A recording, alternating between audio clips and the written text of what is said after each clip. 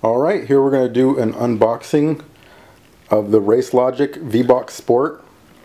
Um, this is the VBox that it can be used with your phone to give you real-time data on the phone. It uses a 20 hertz GPS, which is supposed to be the best. Um, I had planned on initially going with a uh, performance box because it has a little display, but uh, uh, this one was slightly cheaper. This was 400 plus 50 for the mount, which I haven't received the mount yet, by the way. Uh, but it's 400 plus 50 for the mount, and this one's supposed to be a little bit uh, more accurate, so it gives you better data. And um, these are very accurate. I'm going to be testing it at the track as well, but they're they usually give within a hundredth or or even a thousandth thousandths of what the car is actually running. So these are are not toys. It's not like the old G-Techs that people used to get for a hundred bucks. This is an actual RaceLogic real um, performance monitor that uses GPS, a very accurate GPS to determine um, performance. And it can log things such as quarter mile, 60 foot, um, speed to speed, so you know 50 to 120 or 0 to 120, like anything you your heart desires and also braking. So let's get it open here and see what it comes with.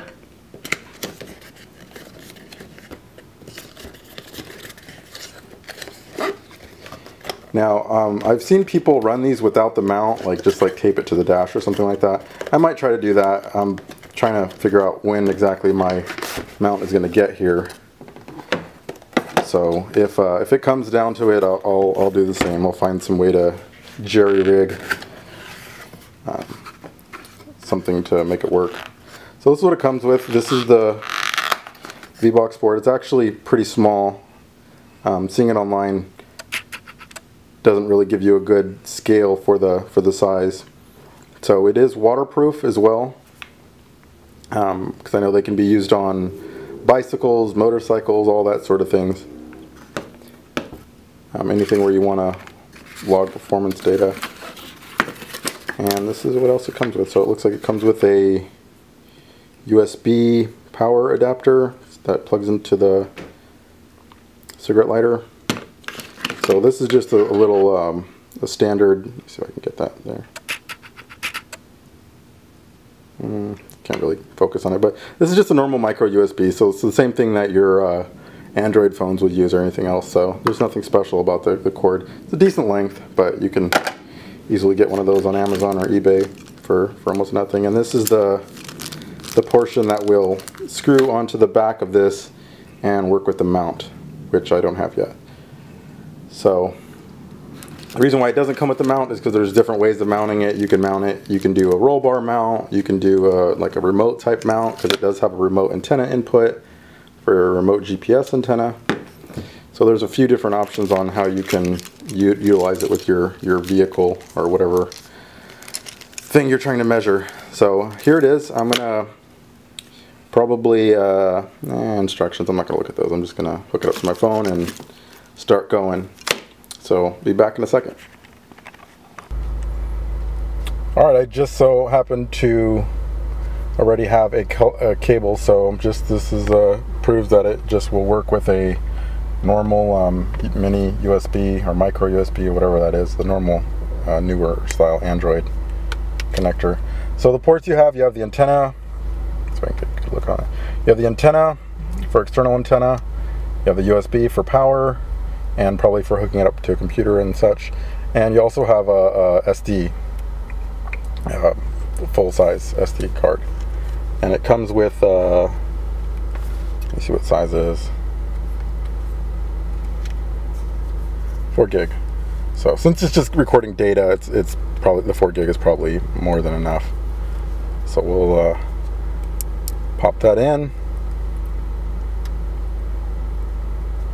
And it does have these big rubber things that go on it to make it waterproof.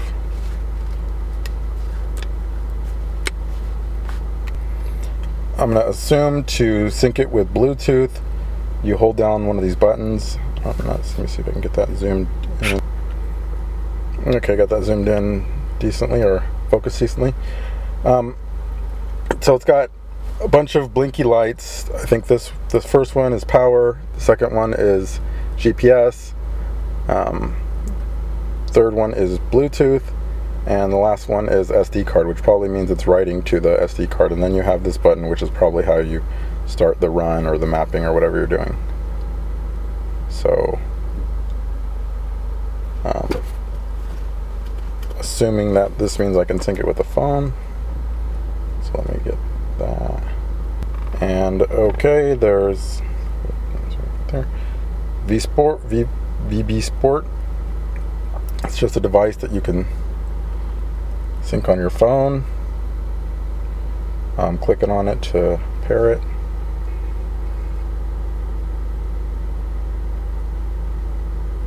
And it's connected. So, so I can get that. VB Sport connected. So now we're hooked up to it. Okay, I'm assuming you know you got GPS sync when the light is solid but I'm not actually going to take it out at the moment. I'm going to do that probably tomorrow because I'll need a little bit more time and it's it's fairly late so I just wanted to get this thing unboxed. So I'm going to just show a little bit about what the app can do and you can download this app um, just through the App Store and it has like a, a, a test portion so you don't actually need the device to kind of play with it and see what it does. So like right now it's in demo mode because I actually downloaded it before I even had the the device. So you can see demo modes here. We're gonna turn off demo mode because I actually have one now. And uh, so this is what you got. You got uh, speed units. This is just in the settings. Distance unit. Um, speed display filter, which I have no idea what that is. Uh, oh, it affects the displayed speed. So um, one thing to keep in mind that you can use this this uh, app to kind of look at your data in real time, but this isn't really it gives you data, but it records it on the SD card, and from there you could actually access more accurate data, and and uh, so you don't need to use a phone at all. It just gives you a, a, a the ability to look at the, the data in real time. So if you do a run, you can see exactly what it was immediately without having to hook up your computer and all that, all that nonsense. And then of course the one foot rollout, you have to make sure that's checked. That can be a, a, controversial topic, but all drag strips use that. So if you're testing 60 foot, um, 0 to 60, I'm pretty sure 0 to 60 uses it when uh, magazines and such test it. So if you're, you're testing anything that you want to compare with another result, like track times, you need to have the one foot rollout because that's just a standard. Whether or not you agree with it, you can't compare numbers if you are using a different method. So let's go to the setup now. Also, it did say no GPS, so I'm in my garage. And um, so it's got to probably have a, a, better GPS signal than what we have just sitting here. Um, so there's different different modes you can use. Um, there's acceleration, brake, and zero to zero. So zero to zero would be like zero to 100 to zero.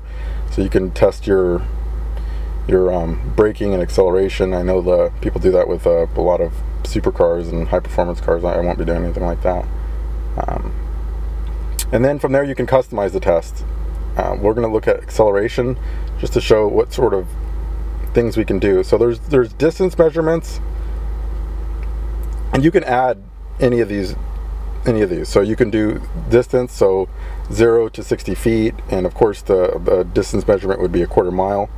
So you can start at zero feet and end at of course 1320 or you can do one mile you can do you can do it all and it's going to be provide you very accurate data and also speed measurements so this is the one I'm mostly interested in um, probably 0 to 60 runs and what I'm really looking for is a, a way to, to kind of make a run without having to um, shift. So probably just leave it in in third gear and start at 3500 or so and then just go from whatever speed to whatever speed and that way or whatever speed to redline that way I can compare different mods and it'll be kind of like a dyno pull because if I'm shifting then I can shift differently and you're adding a variable in and you're not going to get reliable data with uh, anytime you're adding a, a, a variable of a, a, human who's shift rolling the gears um, you could still get accurate data doing that. You just have to do far more runs in order to make sure you're you're uh, you're not being Uh, you're not changing anything between runs.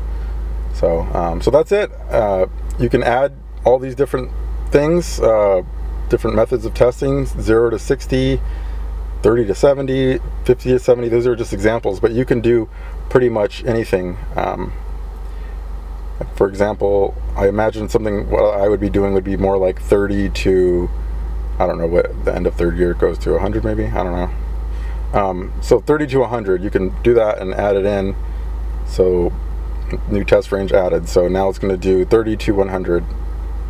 Um, 30 to 100 is right there in there. So now when you start this and do the do the run, that's one of the, the um, waypoints it's going to measure. So I think when you and when I actually start testing, I'll tell you exactly how it how you use it in in the in the real world when you're actually driving.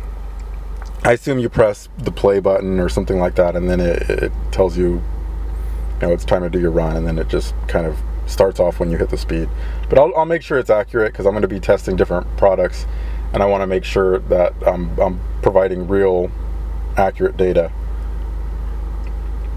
So this is it. This is the the V-Box Sport by Race Logic.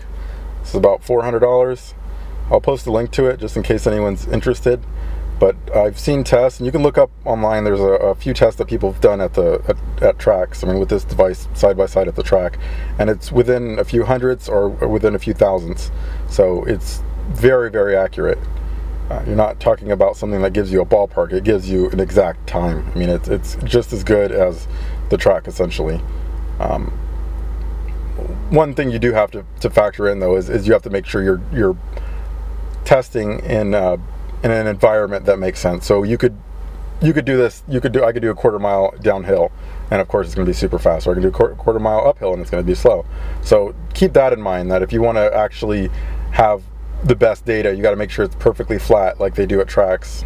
Most of the time, sometimes tracks have slopes that add to inaccuracy, but um, yeah, that's uh, basically it. And um, possibly with the uh, braking test, I can you know change pads and change different braking items and uh, maybe go with the big brake kit and then see how it actually performs in, in the real world. Do some back-to-back runs and see how the fade from stock versus um, the device works. So, all right, thanks for watching.